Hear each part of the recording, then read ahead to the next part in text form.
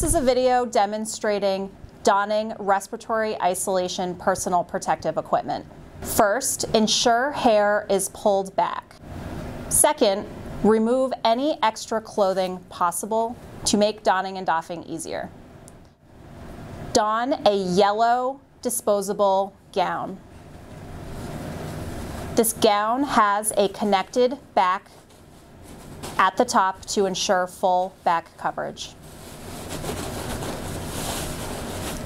The finger loops will be worn. Ensure that the thumb loop is in place.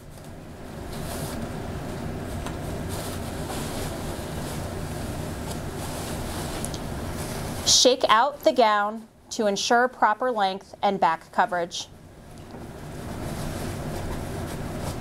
Tie the gown in the back. Tying the gown tightly will ensure an easier doffing process of the gown. Don the surgical mask. This may be a cone mask or flat procedural mask. Smooth the metal nose piece over the nose for proper fit.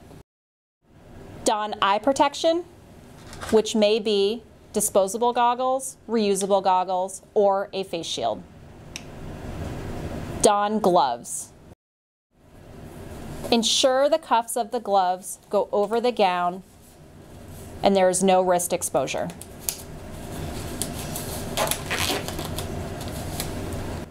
This concludes the donning process for respiratory isolation personal protective equipment.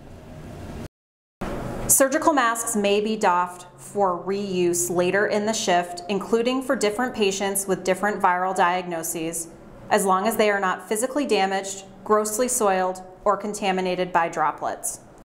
First, remove gown and gloves in a single step.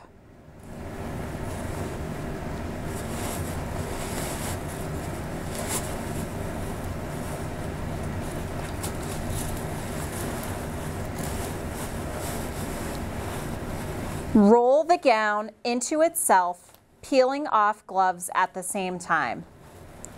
Hold the gown away from your body and discard.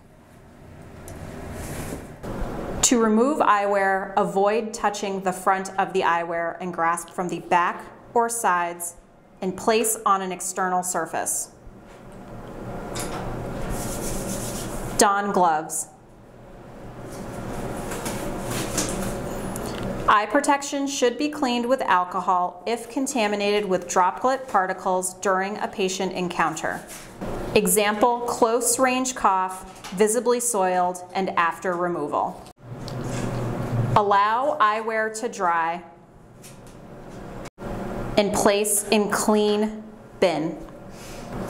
Then immediately perform hand hygiene.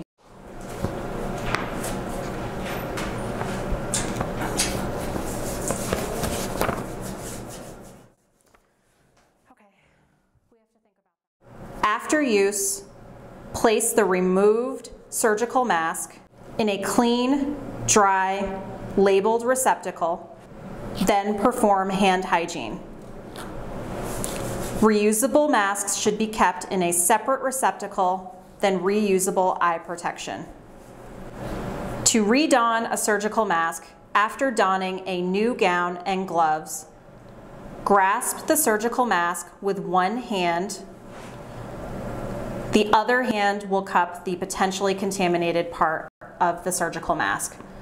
Place strap over the head and smooth the nose piece, avoiding touching the face with potentially contaminated hands.